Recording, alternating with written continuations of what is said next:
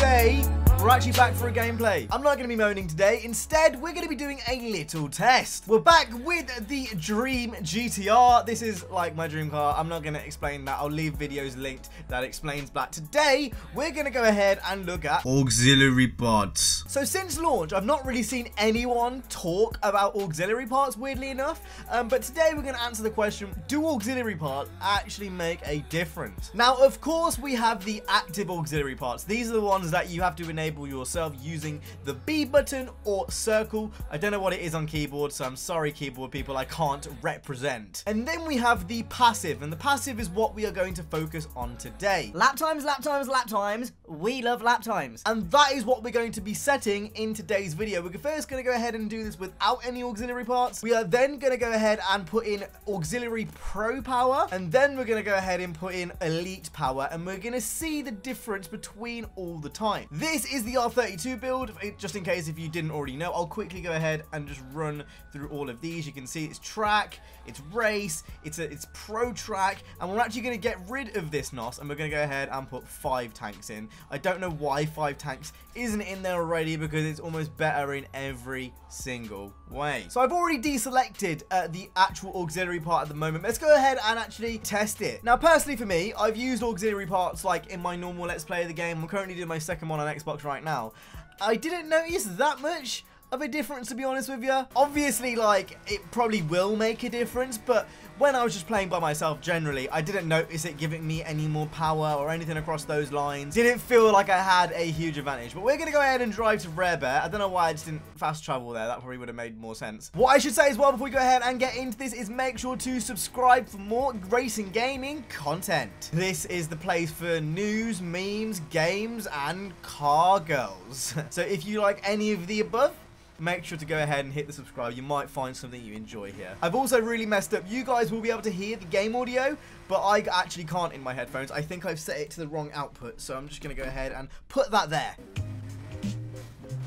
I don't know where I was Whoa, wait, wait, wait, what? Did you guys see how much the damage went down then? I feel like we should probably fix the car before we actually go into a race because that was a bit mad. Right then, baby! Let's go ahead and set the first lap. Now, one thing I do quickly want to say is that the damage increase passive modifiers do make a huge difference. I've used all the damage increase ones for my, um, just my general nighttime runs sometimes, and they make a huge difference. Whether it's the same for the nitrous, I'm not so sure, and maybe I can show you guys, you know, the damage uh, multipliers at some other point in a different video. Today, we're kind of just focusing on the nitrous stuff because it kind of like relates to the Gary series, which if you haven't seen, I will link down in the description. That's the series where we take cars and we time them. How exciting. How I'm treating this video is basically like Gary, but I'm just spamming the NOS, essentially. So we'll be able to see if, you know, the NOS upgrades actually do make a huge difference. It's an interesting one, really. Um, I've not really seen anyone talk about the auxiliary parts an awful lot, which is quite weird because it's actually one of the new things they put in the game. I don't think you can do a high rep nighttime run. You know, we're talking like two or three million without having some of those passive and um, active parts on the car. Like, you kind of have to have them there, otherwise you're just really, really going to struggle. Unless you're a sweat bag, of course, then you'll easily be able to do it. So as you can see by the fact we only have one tank of NOS, I have absolutely been rinsing the NOS. I've not really made any mistakes. That's the first, that is, for, for the rare bear. Usually, like, at this point in the video, we would have crashed out. Hopefully I haven't jinxed it. Touch wood. We are coming up to the final straight. I am really regretting not doing that much preparation for this video because I actually don't have anything to write down the time on. Probably could have done a little bit better time-wise, but anyway, we're coming up to the last corner. I'm about to crash. I don't know how I didn't crash then.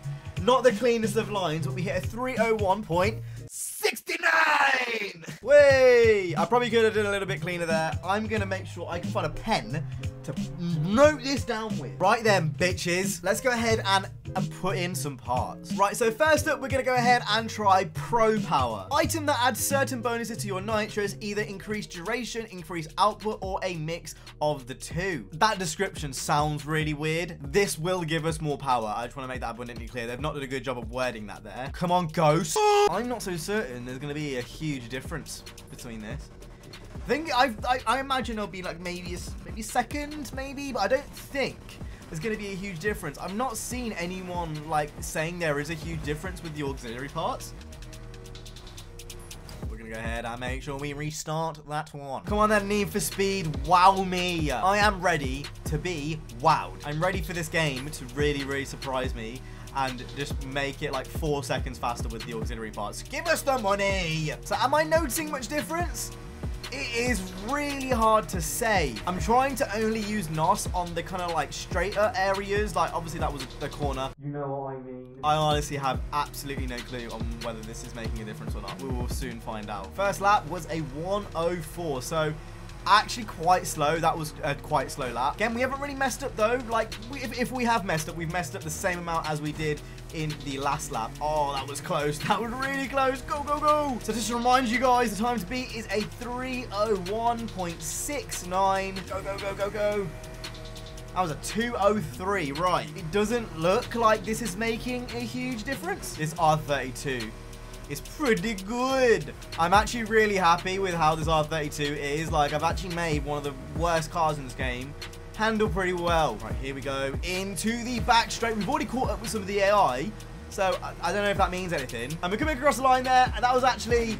I was actually slower. We did a 301.79. Now, that is probably because I was a little bit shit. I'm gonna do that again. That's uh, that shouldn't be slower. Clearly, though, that what that does prove is that whatever NOS is in here, at least on the pro level, doesn't make a huge difference. Otherwise, it would have been faster. Right, we're gonna do that. I'm gonna speed run that super fast. You ain't even gonna see me. I'm going that fast, like Sonic. Right then, so we're coming down to the back straight. If this isn't faster, I will be very, very confused because I think that was the best lap I've actually done so far. Right, we are coming across the line and that is literally a three minutes. Okay, I don't know what to take out of that because to be honest, I think I could probably do a 309 without the NOS as well. Clearly white, clearly pro level passive or uh, you know stuff it doesn't actually make that much difference i'm averaging the same amount of times that i would with no nos so let's go ahead and add the elite version in if I'm not seeing at least a second difference, then I, I, don't know. I don't know what to say, tell to you guys, really. I'm not going to lie. With the pro level NOS, I was kind of expecting to see a bit more of an improvement. Before we go into the next one, I just do quickly want to say, it's very clear when you put a different engine in the car, how much better or worse it is. But with the auxiliary part, at least that pro level passive one we just put in, it's not so obvious. It's a bit black and white sort of thing. Anyway, we're going to do this elite one. Hopefully I can see a little bit more difference because at the moment, it's not doing it for me, Chief. If I don't see a 258, 259 from this, it's a weird one. That's a really, really weird one. A little bit of Hennessy and, um... So again, same principle. I am just going to spam the NOS when I have an opportunity to. To be honest, I don't really mind if the auxiliary parts don't have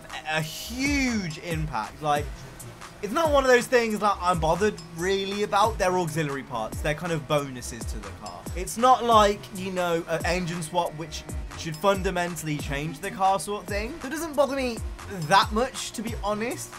I feel like I can definitely tell more of a difference in this car, but again, it's not like an engine swap. It's more kind of fine margins. I guess the main thing you'll get out of this video is deciding on whether you want to use the parts that I'm using in this video. Bruh. Oh, for fuck's sake.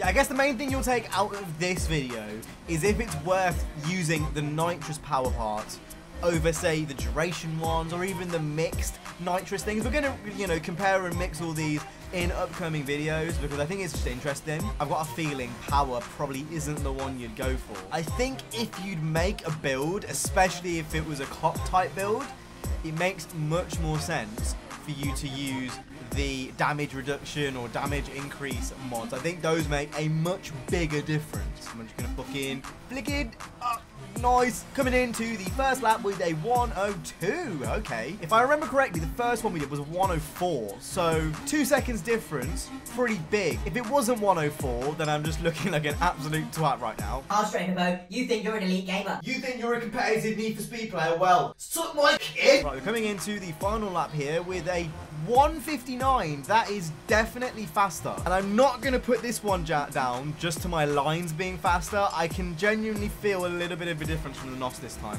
We are coming down the final stretch I, I reckon this is probably going to be like a second faster maybe, or maybe two seconds faster. I feel like the elite passive definitely does make a difference in comparison to the... Oh, I don't hit him, don't hit him.